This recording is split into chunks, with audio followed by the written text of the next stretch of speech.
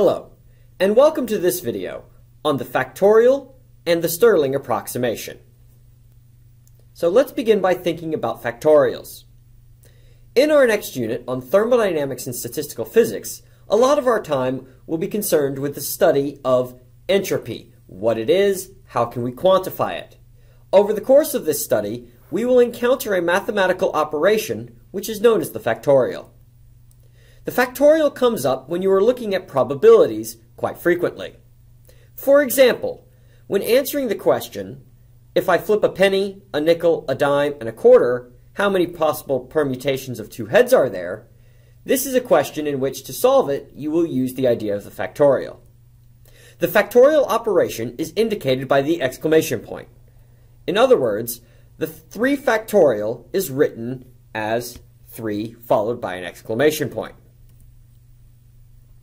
How do we calculate factorials?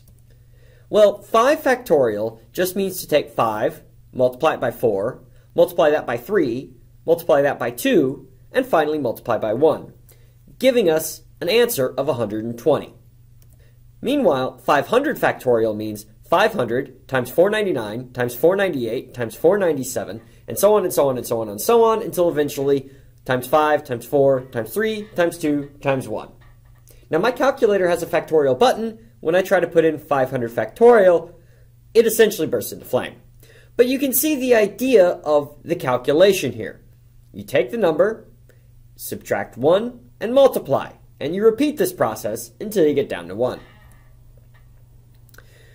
Because of this operation, the answer to factorials can get very, very big very, very fast. Before we come to a method on how to deal with such large numbers, there's one last point to bring up. 0 factorial is equal to 1. This is a convention, and I'm not even sure I can explain to you why, but you need to know that 0 factorial is equal to 1. So, factorials give us very large numbers.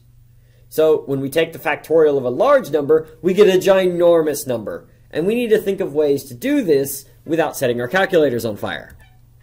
In particular, in our study of thermodynamics and statistical physics, we'll be looking at molecules. Molecules come in moles, which is 10 to the 23. So we will be looking at 10 to the 23 factorial. Again, if you try to do this with the calculator's factorial button, you probably will get an error. And so we need a way to handle this. Fortunately, in our study, we'll actually only be interested in taking the natural logarithms of factorials. So if we're interested in the number n factorial, what we'll really be interested in is the natural log of n factorial. This will save us quite a bit. Because if we're interested in the natural log of the factorial of a number, then we can use what is known as the Stirling approximation. The Stirling approximation tells us that the ln of some number factorial is equal to 1 half times the ln of 2 pi plus whatever number I'm interested in, add a half to it, multiply it by the natural logarithm of n, and subtract n off. This formula is on your equation sheet, so you don't have to memorize it.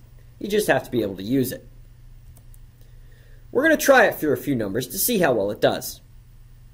So here is the calculation for two different values of n, 10 and 20. Here is 10 factorial. You can see, even at 10, 10 factorial is getting very large. The natural logarithm of 10 factorial is about 15.1. If I use the Stirling approximation on the previous page here, I get essentially 15.1. The difference is very, very tiny. This is a percent difference.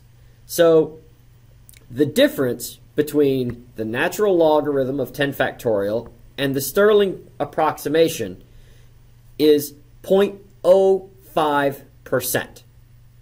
Similarly, if I repeat the calculation with 20, 20 factorial, you're already into 10 to the 18, which gives us a natural logarithm of 42.3.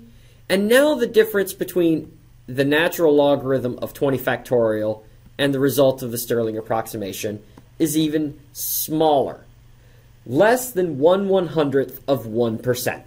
So this Stirling approximation is quite accurate. You get a chance to practice a few problems in your homework before the RAT. This concludes this video.